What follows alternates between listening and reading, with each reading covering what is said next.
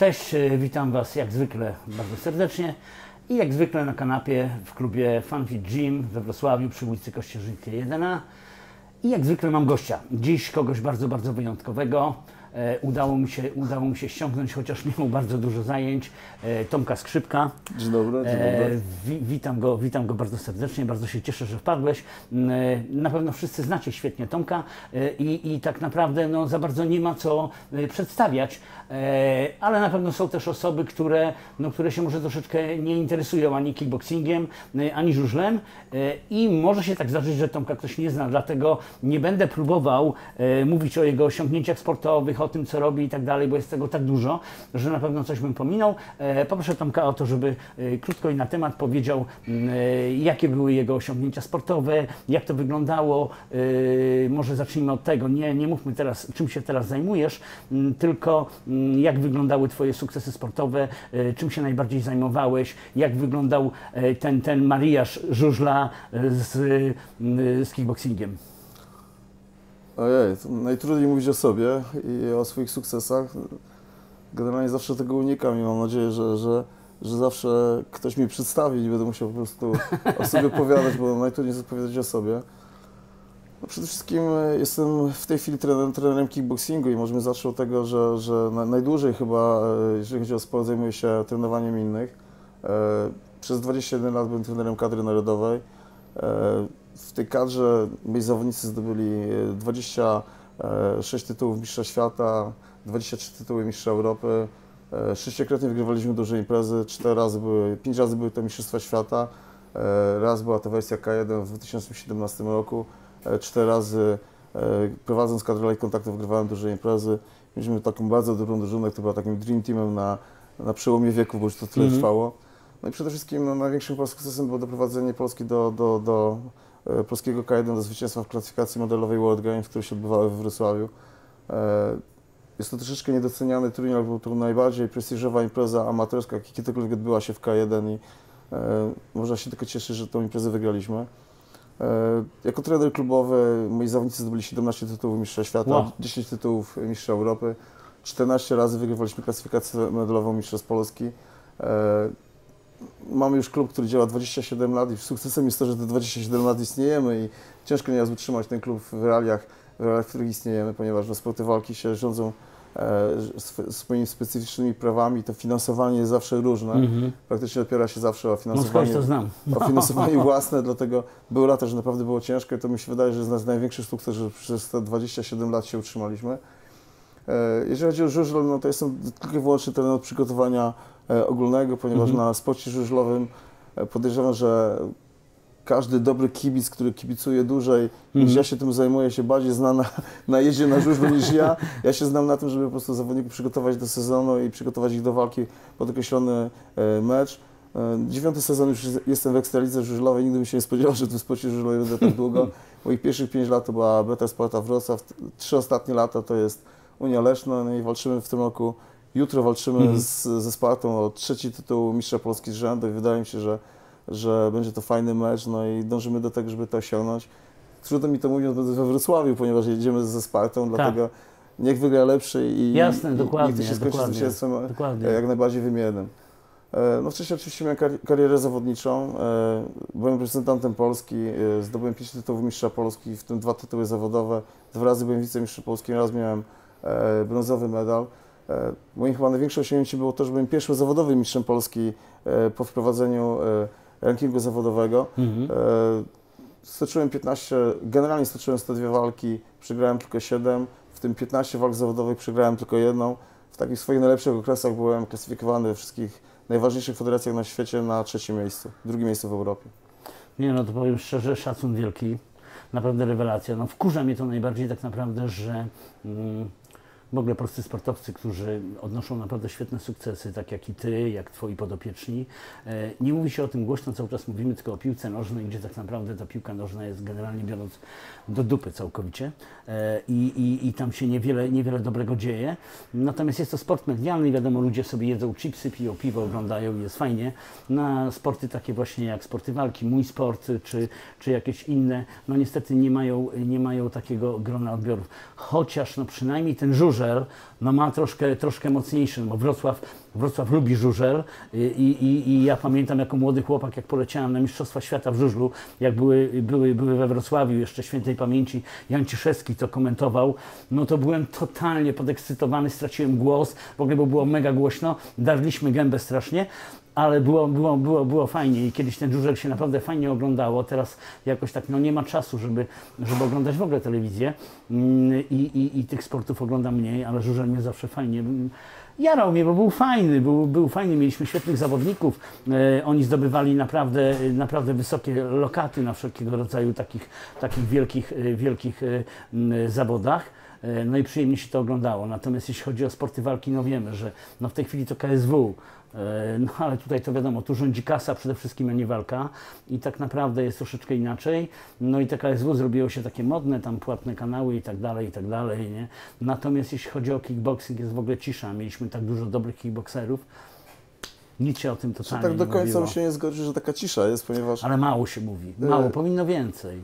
powinno więcej, ale jestem troszeczkę innego zdania. Generalnie, czy tam się czujemy gorsi, czy, czy lepsi od innych, Mhm. To chyba wynika z tego, jak się po prostu czujemy w danej dyscyplinie, jakie cele mamy.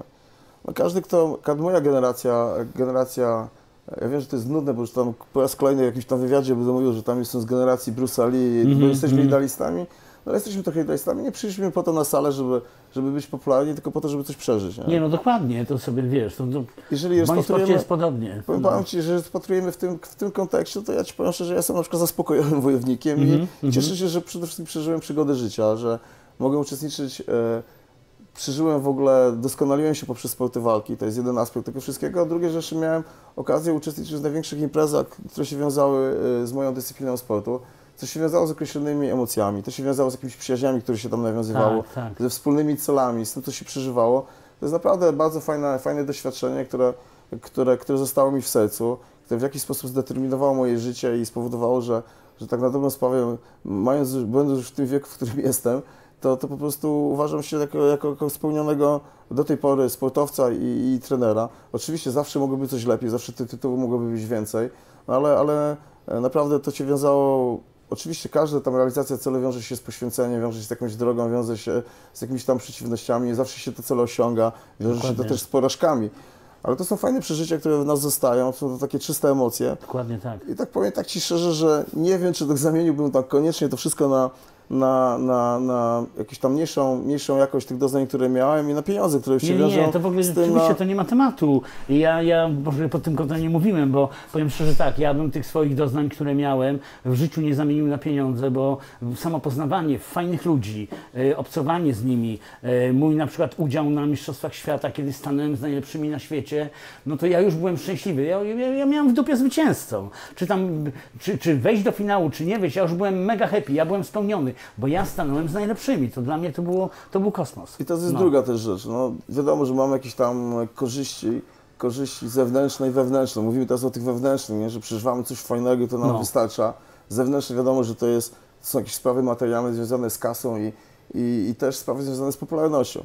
Ja nie zazdroszczę nikomu popularności, naprawdę proszę mi wierzyć. Ja Jest to swoich, upierdliwe. ze swoich najlepszych czasów miałem taki moment, że byłem rozpoznawalny poważnie tutaj Mhm. e, na ulicy, ponieważ no, mm, wtedy, kiedy były dwa programy telewizyjne w Polsce, się zaczynały w ogóle od 16, czyli ten kickboxing leciał Tak, i, tak, i tam tak. parę moich walk, walk się tam pojawiło, no to wiadomo, że ludzie mnie rozpoznawali, bo niczego innego w telewizji dokładnie. nie mogli było, oglądać wtedy, dokładnie. tak. Musieli Dlatego- oglądać, dokładnie. Ja wcale nie jestem, nie tęsknię za tym, żeby, żeby ktoś mnie tam klepał po plecach na, na ulicy. Popularność to się wiąże z tym, że no, człowiek musi o tą popularność dbać, to też jest dodatkowe zajęcie. Mhm. Ja przede wszystkim jestem sportowcem, jestem trenerem sportowców i, i generalnie jakieś tam sprawy związane z tym, co się dzieje e, wokół mnie specjalnie mnie nie interesują. Też druga rzecz jest, że to się teraz się też dzieje, to też powoduje, że, że ta popularność to jest taka sprawa strasznie względna. No. Bohaterami jesteśmy 3 minuty. No tak. No, praktycznie się wszystko tak szybko zmienia Tak, w tak, mediach i w internecie, dokładnie. szczególnie w internecie, co niestety większość, przez, przez co niestety większość osób ma ogląd rzeczywistości, bo to jest taki troszeczkę wypaczony świat. Mhm. No ta popularność, jeżeli coś wygramy, to trwa minutę, trzy minuty i, Dokładnie. Jak się i przegra, to już cię zgnoją, Tak, skopią, jesteś do niczego, w ogóle pomyłka. zmierzam w ogóle do jest, no, początku. no. I to nie jest warte tego, żeby się tym zajmować. Nie, no, Naprawdę nie, dokładnie. jest warte. Dokładnie, dokładnie. Ja uważam, że celem, e, cele, które, które, które sobie tam kiedyś postawiłem w kickboxingu osiągnąłem, to co chciałem wynieść wyniosłem i Mhm. po prostu jestem trochę, jestem spełniony tutaj zarówno trenerem, jak i sportowcem. I mam komfort, pełny komfort do tego, żeby po prostu się bawić dalej w to wszystko i tam osiągać jakieś nowe rzeczy, które sobie wymyślę. No i to jest, i to jest fajne, wiesz, i to jest fajne, bo tak naprawdę tego ci kurwa nie zabierze. Tego nam nikt nie zabierze, tak. Dokładnie, dokładnie. I to jest tylko, i to jest tylko twoje. No ta rozpoznawalność, powiem Ci szczerze, no faktycznie jest upierdliwa, bo, no bo ja akurat tam jakoś z tym nie miałem y, większego jakiegoś problemu, y, bo, bo aż tak bardzo rozpoznawalny nie byłem, aczkolwiek no czasami się zdarzało. Natomiast wielu moich takich kolegów, no, którzy tam pozdobywali troszeczkę więcej mm, tytułów y, i, i, i różnego rodzaju laurów, e, no faktycznie byli bardziej rozpoznawali, e, no i żaden się z tego nie cieszył. Żaden się z tego nie cieszył, bo on nie miał, gdziekolwiek gdzieś tam poszedł, to on nie miał w ogóle prywatności, nie? Bo co chwilę ktoś do niego podchodził, ktoś do niego zagadywał. On nawet nie miał czasu, żeby, nie wiem, no z kimś posiedzieć, porozmawiać, bo co chwilę ktoś go zaczepiał, coś mu mówił, e, prosił o jakiś autograf, o jakieś słowo. No on się starał być miły, no bo wiadomo, nie był zadufanym, zadufanym idiotą i, i nie zachowywał się jak kretyn, więc z każdym porozmawiał. Mówił, że był już tak tym zmęczony, że praktycznie każde wyjście jakieś do miasta to było dla niego tak męczące, że sobie odpuścił. No, bo miał, bo miał centralnie, centralnie dosyć. Także no, tutaj sobie zdaję sprawę, tylko że ja mówiłem troszeczkę pod innym kątem, że mm, ta popularność y, jakby miała takie przełożenie na to, żeby, żeby mm, troszeczkę nam się pom- pomagano nam y, w pewnych rzeczach. No wiadomo, że y, w moim sporcie, y, w Twoim może jest troszeczkę inaczej, ale u mnie, żeby cokolwiek osiągnąć, to trzeba samemu wszystko zrobić. Tak naprawdę nikt Ci nie pomoże. Y, Ja na Mistrzostwach Świata zdobyłem, zdobyłem wicemistrzostwo świata y, i cała szóstka finalistów dostała od kraju swoich stypendium. E, Bardzo wysokie, bardzo fajne, wiadomo, że najwyższe mistrz świata, e, potem po kolei troszeczkę niższe. Cała piątka dostała, oprócz mnie, ponieważ byłem z Polski, Polski nie stać. No i krótka piłka, no i tak to wyglądało. Ja nie mówię, że y, ja oczekiwałem kasy, to nie chodziło o to, ale wiadomo, ja włożyłem dość dużo y, swojego zdrowia, y, y, swojego czasu, y, pracy, zaangażowania, y, niesamowicie dużo wyrzeczeń, żeby, kasy oczywiście też, żeby osiągnąć formę, żeby na te mistrzostwa pojechać. Fajnie by było, żeby, żeby cokolwiek jeszcze, jeszcze wróciło z tego, nie? Byłoby, byłoby zdecydowanie łatwiej, bo tak naprawdę to leciały pieniądze z budżetu domowego, no, no umówmy się.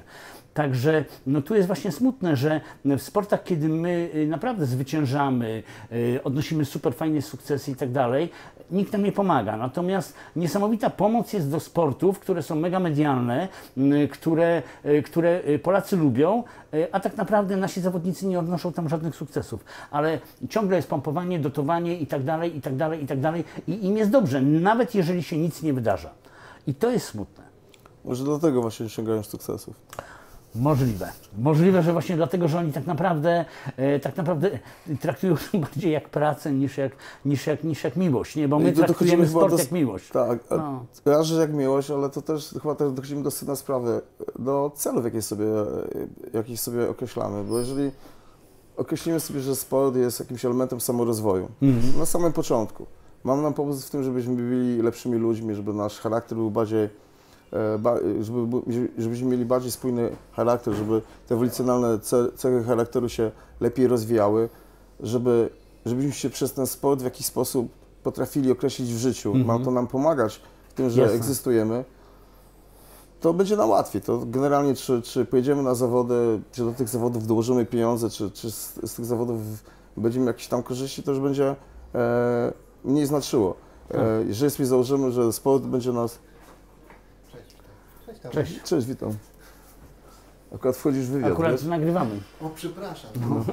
Co, nie No. E, I i jest sytuacja taka, że jeżeli określimy, określimy sobie, że sport ma nam służyć zarabianiu pieniędzy czy popularności, no to słuchajcie, są inne dziedziny życia, gdzie, gdzie po prostu zrobimy więcej pieniędzy. Bądźmy biznesmen, Nie, no biznesmenami, oczywiście. Albo bądźmy dokładnie. aktorami, oni będą o wiele bardziej popularni. Dokładnie, I dokładnie teraz jest tak. kwestia, kwestia, kwestia tutaj przełożenia tych akcentów. No sportowiec ma być przede wszystkim sportowcem. On Dokładnie, cele sportowe, chce, chce osiągać, chce osiągać, e, osiągać zwycięstwa i wygrywać. I, I chce dążyć do tego, żeby być najlepszym.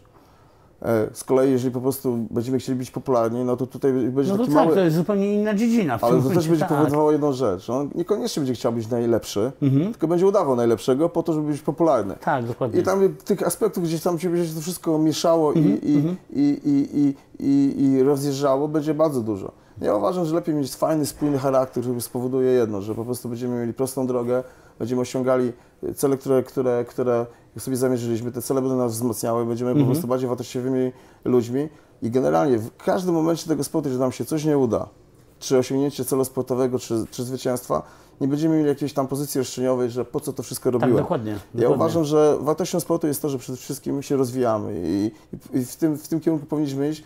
Ja też jako trener chcę się tym wszystkim, tym wszystkim, e, takim, takim popatrzeniem na to wszystko zarazić, ponieważ no, wtedy będziemy mieli jakąś e, prostą drogę i nie będziemy mieli wątpliwości, jeżeli chodzi o to, co robimy. No dokładnie, no przede wszystkim jeżeli jesteśmy sportowcem, nie robimy tego ani dla kasy, ani dla popularności, tylko dlatego, żeby wygrywać. No to jest, to jest podstawa. Ale to jest bardzo proste. No ogląda się w tej chwili te Instagramy, e, Facebooki i tak dalej. E, na przykład w moim sporcie sylwetkowym e, oglądam dziewczyny. E, kurde, no wyglądają genialnie, po prostu bajka. Mówię, ja pierdzielę, po prostu jak można zrobić taką formę w tak młodym wieku. Jadę na jakieś zawody, widzę tą dziewczynę, no po prostu pomyłka pomyłka. Na Instagramie wygląda cudownie, a tutaj i to jest właśnie, i to jest właśnie ta popularność. Ona tam jest mega popularna, a tak naprawdę jako sportowiec no niewiele. I to, i, to, I to już nie można ją nazwać, że ona jest sportowcem. E, Ona jest po prostu gwiazdą Instagrama. No, No, ale to jest też No. kwestia tego, jakie mamy podejście do życia. Bo jeżeli ktoś, co jest, co jest fajne w ogóle w tym życiu, nie? co nam się bardzo podoba, nie? Mhm. Bo każdy może to określić, czy, czy, co mi się podoba w życiu. No? Ja zająłem się sportem z jednego powodu. Mhm. Ten sport nie zawsze mi mój świat, który mnie otaczał, mi pasował. Nie? Tak. Ciężko mi się w ogóle zainstalować gdziekolwiek. Nie? I Mhm, ten sport, poprzez ten sport mogłem się w jakichś tam grupach czy, czy yy, umiejscowić, mogłem sobie jakoś tam zdefiniować tą rzeczywistość wokół siebie. To było coś, czym się dobrze czułem. To była pierwsza rzecz. Druga, byli ludzie, którzy w jakiś podobny sposób patrzyli się na to wszystko, co się dzieje dookoła. A trzecia rzecz, no to była jakaś tam forma dowartościowania się poprzez to, co robię i, i jakoś tam spozycjonowania się w, w hierarchii tego, co jest dookoła mnie. Ale to było, wszy- wszystko się wiązało z jednym, z prawdą. Mhm. Ja byłem sportowcem po to, żeby wiedzieć, czy jestem najlepszy, pierwszy, drugi, siódmy czy ósmy. Jak Mhm. byłem ósmy, to się cieszyłem z tego, że jestem już ósmy, ale chciałem być piąty, później trzeci, Jasne, a później jasne. najlepszy, najlepszy, e, najlepszy w tym, co robiłem. No i teraz kwestia tego, czy chcemy rzeczywiście być najlepsi, czy generalnie udajemy nie wiadomo co, no bo Tak, to, co się dokładnie. wiąże z Facebookiem, Instagramem, to jest po prostu prezentacja, Tak, autoprezentacja, która nie zawsze się wiąże z, z tym, co jest z osiągnięciami, dokładnie, tak, No i tak. teraz właśnie mamy świat, który się wiąże właśnie z prezencją, prezentacją siebie i, i tam generalnie naciąganiem światopoglądu, jeżeli chodzi o nas. Mhm. No i czym to się wiąże z prawdą. No i to jest kwestia tego, no, kim chcemy naprawdę No być. dokładnie, dokładnie. Czy chcemy być wydmuszką życiową, czy chcemy No. być y, człowiekiem z krwi i kości, który, który po prostu y, bardzo prawdziwie wyraża siebie. Dokładnie tak. To jest bardzo ciężkie, no bo łatwiejsze niestety jest zostać Być wydmuszką. Wyd, No, wydmuszką. no i- Dokładnie, dokładnie. I, tylko jest też drugi aspekt, nie? Czy jako wydmuszka się będziemy dobrze czuli? No tak niekoniecznie. Nie? Czy jako wydmuszka No ja- się będziemy dobrze czuli? No wiesz, biorąc pod uwagę to, że mamy generalnie zajoba na punkcie sportu i to jest tak naprawdę nasze życie, nie no, byśmy tego nie przeżyli w żaden sposób. Nie? No ja bym tego nie No. przeżył. No. Paweł, ja Ciebie znam, Ty naprawdę byś tego nie przeżył. Nie, Dlatego nie, wydaje mi się, nie, że nie, nie. nie miejmy tutaj już regresu do tego, że ktoś jest bardziej popularny, że ktoś tam ma więcej, więcej, Mm. więcej, e, nie wiem, followersów Lajków, na Instagramie, tak, lajków na dokładnie. Facebooku. Dokładnie, Okej, niech dokładnie. mają. Jak No, się z tym no. dobrze czują, To świetnie, nie wierzę, to świetnie. to świetnie. To świetnie, dokładnie. Dlatego ja też nie, nie, nie patrzę, wiesz, na, na, tych, na tych followersów, bo mnie to naprawdę nie interesuje. Fajnie, jeżeli na przykład obserwują mnie osoby, y, które w jakiś sposób tam szanuję, podziwiam i tak dalej, są dla mnie jakąś, jakąś, jakąś wartościowymi osobami. Ja je obserwuję. Jeżeli ona, ta osoba mnie obserwuje, no to jestem zadowolony. To znaczy, że ona jakby y, y, odbijała piłeczkę w moją stronę, że, że, że też coś sobą reprezentuje, nie? Czyli to jest, to jest fajne. Natomiast ilość, ilość mnie totalnie nie interesuje. To jest zupełnie jakaś bzdura totalna. Ja Ważna mogę- jest jakość tych ludzi, y, a nie ilość. Ja nie mogę powiedzieć, że mnie to w ogóle nie interesuje, ale naprawdę to, to ja Facebook, Instagram akurat to są takie jakieś zajęcia e, w czasie wolnym. No, często Mhm. jeżdżę, jeżdżę w podróży, często jestem w pociągu, czy e, często, często gdzieś tam jeżdżę, no teraz akurat mam samochód, no, ale często jeżdżę środko, środkami komunikacji miejskiej. Mhm. To jest taki fajny moment na to, żeby tam po prostu, ciężko gazetę wtedy czytać, bo Tak, też gazety tak, mam, tak. zawsze wożę z sobą, bo lubię, Mhm. lubię informacje papierowe, bo to są Mhm. takie dla, mnie- dla mnie bardziej wartościowe przekaźniki informacji. No ale trudniej tą gazetę czy- czytać w tramwaju, ale łatwiej, Dokładnie, oglądać, łatwiej, tak. oglądać telefon. I Dokładnie. ja się Facebookiem, Instagramem zajmuję tylko i wyłącznie wszystko komunikacji. To nie jest też tak, że wstaję rano i tam się płaczę, ojejku, jakieś tam zdjęcie rzuciłem, co się tam dzieje, nie? kto mnie polubił. Nie? To, to nie jest dla mnie aż takie ważne. Nie mam takiej potrzeby, nie? Jasne, No być jasne. może też jestem generacją ludzi, którzy bardzo późno w to wszystko weszli. No tak, no my troszeczkę inaczej do tego, no, za naszych czasów w ogóle nie było tego typu rzeczy. Na szczęście. Na, szczęście, nie było. tak. Na szczęście nie, nie, zostaliśmy, nie zostaliśmy tutaj spaczeni pod tym, pod tym kątem. No niestety w tej chwili młodzież są tak naprawdę, jakby im ktoś zabrał to, to oni by nie potrafili funkcjonować. Nie? To jest, zastanawiasz się dlaczego? No, dlaczego tak uważasz? No, Ja uważam z lenistwa, nie? bo to jest bardzo prosta forma komunikowania się ze światem. Tak, i to jest, to jest jedno. Druga sprawa, można też uprawiać sport e, na Facebooku. No, bo na przykład e, można być fachowcem od wszystkiego, e, można się na wszystkim znać. Może i tak być dalej. gorzej. Tak, Może być facebookowym i instagramowym trenerem, tak. który wysyła treningi z sieci. Nie? To Tak, jest, dokładnie, To mi no, się wydaje, tak. że to jest największe, No, największe przekleństwo Tak, leci kopiuj w sportu. klej i tak dalej i on ma na przykład w cholerę tych followersów, jest popularny, ludzie do niego będą uderzać, bo on jest, jak on jest popularny, to on jest dobry. No niestety, no, jesteśmy obydwoje trenerami, wiemy jak to wygląda i tak naprawdę ten Facebook, ten Instagram, e, no to jest tak troszeczkę, żeby nam pomóc w naszej pracy, nie? I, i to jest wszystko, bo tak naprawdę w tej chwili nikt nie, nie, nie ogląda stron www. No kiedyś to, wiadomo, były strony www, tam gdzie sobie przeglądali, w tej chwili nie, w tej chwili wchodzą wszyscy na Instagram czy na Facebooka, no i szukają, nie? No a to jest nasza, to jest nasza praca, także no w jakiś tam sposób jest to na, jakaś tam nasza reklama, ale nikt y, z nas nie przesadza, żeby tutaj forma przewyższyła treść, bo to nie o to chodzi. Ale też chyba nie szukamy jako trenerzy mało świadomych zawodników. No jeżeli po prostu ktoś chce osiągnąć jakiś tam cel i chce, To musi tego chcieć. musi tego chcieć. Jeżeli po prostu będzie chciał, to Paweł, no do nas dotrze. Nie? No dokładnie. To do nas dotrze i Dokładnie. niekoniecznie przez Facebook czy przez Instagram. To Dokładnie. też jest następna rzecz. Jak już taka osoba do nas dotrze, no to będziemy mogli jakoś tam wspólnie, wspólnie pracować nad tym, żeby osiągnąć jakiś tam e, e, efekt i cel. I wydaje mi się, że to będzie jakaś taka współpraca, która będzie troszeczkę dłuższą współpracą. No, no umówmy się, jeżeli ktoś chce, chce mieć trenera, który napisze mu program przez internet, czy jakąś tam Mhm. dietę przez internet, trenera, który nawet nas nie widzi Mhm. i chce, chce w ten sposób realizować swoje marzenia, w cudzysłowie, No. no, to umówmy się, chce mieć gotowy patent, jak najszybszą i na jak najszybszą drogę do osiągnięcia celu. Tak, No, dokładnie. no niestety, no, no cele nie osiąga się patentami, tylko osiąga się bardziej zrozumieniem istoty tego, co, co się wiąże z tym, co chcemy osiągnąć. I to troszkę dłużej trwa. tak, i trochę głębszy, głębszym oglądem tego, co się dzieje Mhm. wokół nas w ogóle, nie? To się nie uda, nie? No niestety. Albo efekt będzie słaby. No niestety. Także no co, no możemy podsumować naszą rozmowę bardzo krótko i, i bardzo treściwie. E, tak naprawdę, jeżeli, jeżeli chcecie zrobić cokolwiek w sporcie, e, potrzebowalibyście pomocy, mm, fajnie jest znaleźć osobę, która, e, która Wam pomoże, a nie osobę, która jest mega popularna, jest gwiazdą, bo tak naprawdę weźcie pod uwagę, że taka gwiazda, mm, ona nawet jeżeli ma jakąkolwiek fajną wiedzę i, i, i, i umiejętności, e, Musi ma zna- już tak dużo tych ludzi. Musi tak, tak, to jest raz, a dwa, że ma tak dużo tych swoich podopiecznych, że on potem nie pamięta dokładnie, który jest co i tak dalej, bo y, w tym momencie to się liczy kasa, liczy się wpłata, a reszta tak naprawdę to jest nieistotna. Ja mam podopiecznego i ja walczę razem z nim, zależy mi mega, żeby on rano wszedł do łazienki, popatrzył w lustro i żeby miał rogala na buzi, no, żeby był zadowolony, no. że, że, że zrobiliśmy coś, co po prostu przez cały czas spędzało mu y, y, sens powiek, nie? Jest też inny aspekt. No, jestem po dobrej wrocławskiej szkole Akademii Wychowania Fizycznego. Miałem bardzo dobrych wykładowców. Praktycznie no, z każdego przedmiotu to był ktoś, kto był znaczącym trenerem na poziomie reprezentacji polskiej. Mhm. A się w ogóle cieszę, że w tym okresie, w którym mogłem studiować, spotkałem tylu fajnych, fajnych fachowców na, na mojej drodze. No i, i na każdym przedmiocie związanym z, e, z treningiem słyszałem tylko jedno. Cel zawodnika ćwiczącego i trenera musi być wspólny. Ten Tak, cel dokładnie. trzeba wspólnie Tak, wypracować. tak. Najgorsze będzie to, jeżeli po prostu zawodnik będzie chciał, żeby przykładowo, ty chcesz zostać mistrzem świata, jestem twoim trenerem, wspólnie chcemy, żebyś został mistrzem świata. Tylko najgorsze będzie to, jak ty byś chciał to zrobić po swojemu, Tak, albo ja będę chciał zrobić to jako trener po swojemu. Dokładnie. Że te cele po prostu nie będą celami wspólnymi. Nie będą jeżeli... spójne, tak, to I teraz wracając do, już do tego, o czym rozpocząłeś. Jakie cele mogą być wspólne, jeżeli ktoś przekazuje wiedzę przez internet? No nie no, ma szans. Niestety, niestety, niestety. To się na pewno rozjedzie. Dokładnie, dlatego mówię, no przez internet można co? No pomóc troszeczkę komuś się y, odchudzić, jak najbardziej. Można zainspirować, Y, się, Zainspirować, wyłącznie. dokładnie, y, żeby ta osoba zaczęła się rozwijać, zaczęła iść w tym kierunku, ale już później, jeżeli chcemy zrobić coś naprawdę bardzo poważnego, no to już musi być face to face, to musi być osoba, która będzie z sobą. No, i, Na dobre i na złe. Dokładnie. I powiem Ci tak, Ty powiedziałeś o Akademii Wychowania Fizycznego.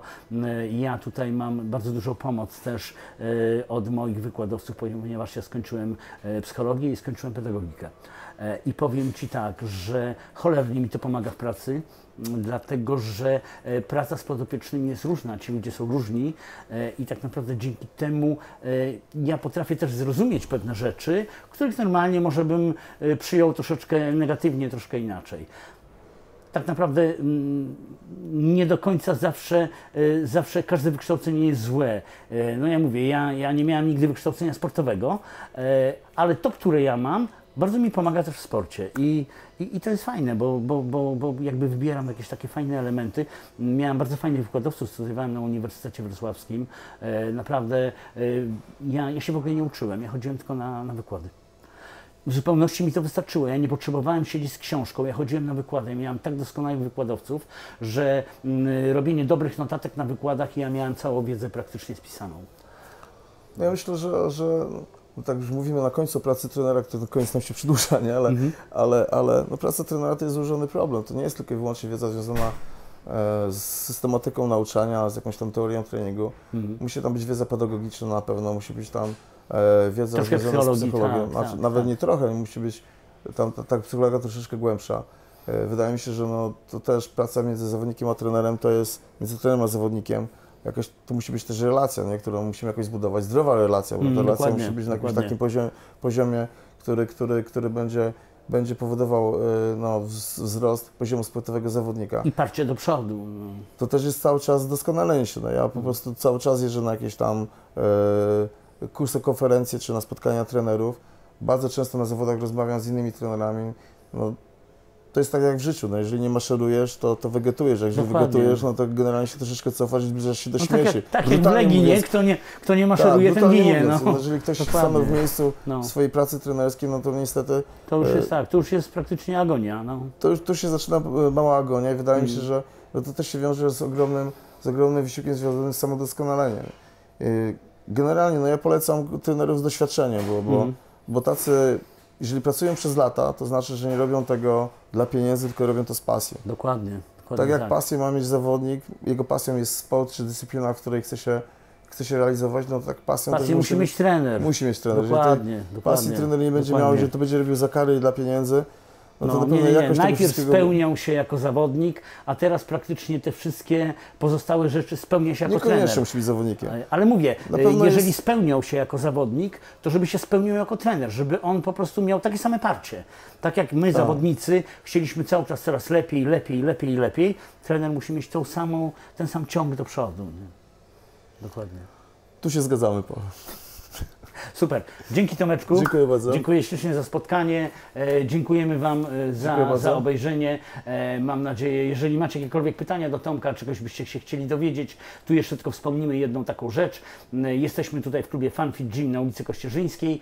Tomek pracuje w Funfit 2 e, w siostrzanym klubie m, na stadionie. E, Tam prowadzi swoje treningi, więc jeżeli ktoś by chciał e, naprawdę potrenować pod okiem bardzo, bardzo dobrego fachowca, m, to y, szczerze polecam. e, Dziękuję bardzo. Zasuwajcie, zasuwajcie na, na, na, na stadion, e, idźcie do Tomka, bo naprawdę e, jest to człowiek z pasją i człowiek, któremu e, czasami bardziej zależy e, na wyniku e, e, od swojego podopiecznego. To są najgorsze te takie momenty, kiedy podopieczny nie nadąża, pieniędzy, nie nadąża, tak, nie nadąża za trenerem. A Tomek, Tomek jest naprawdę świetnym fachowcem i, i to są lata doświadczenia, tak jak już powiedział wcześniej, to doświadczenie no to jest cholernie ważna rzecz. Dziękuję Wam wszystkim za uwagę, za uwagę. E, Piszcie, zadajcie pytania. E, Zawsze możemy się spotkać jeszcze raz, jeżeli będą jakieś ważne pytania, żeby na te pytania odpowiedzieć. Cześć.